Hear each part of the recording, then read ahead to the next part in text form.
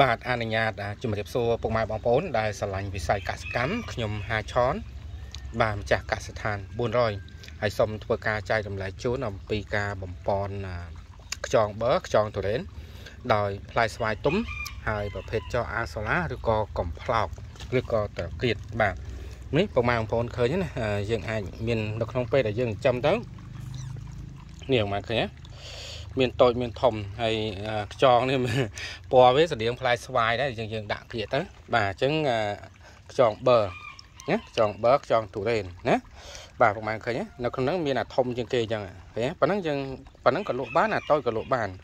ហើយមួយអាងនេះបងប្អូននេះมันអត់អត់ទាន់គិតរឿងគៀនគៀនណាឥឡូវយើងមើលនៅកន្លែងវាវានេះសិនវាឡើងមកណាឃើញនេះវាឡើងលើអានៀបឃើញនេះនេះឃើញណា ឃើញបងប្អូននេះឃើញច្រើនណាបាទហើយមិនមែនតែមួយអាងណាបងប្អូនច្រើនអាងបាទហើយ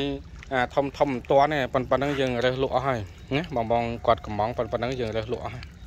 បាទវឹងកំងវឹងទៅមួយថ្ងៃ5គីឡូ10គីឡូហើយបងគិតមើលមួយថ្ងៃ10គីឡូហើយបងគិតនោះមួយខែអស់ប្រហែលមួយថ្ងៃ20គីឡូមួយខែអស់ប្រហែលមួយថ្ងៃ1គីឡូក៏មួយខែ30គីឡូដែរ បាទអញ្ចឹងមុខរបរនេះបងប្អូនអាចបានហូបបងប្អូនទុកយូរតិចនេះអាយុវា2ខែបាទ2ខែប៉ុណ្ណឹង2ខែបាទអានេះក៏2ខែដែរប៉ុណ្ណឹងមានតូចមានធំណា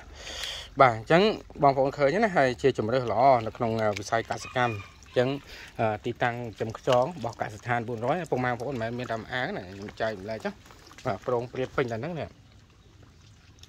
គាត់អាងខ្លះតិចអាងខ្លះច្រើនមើលគៀនគៀនណាបាទ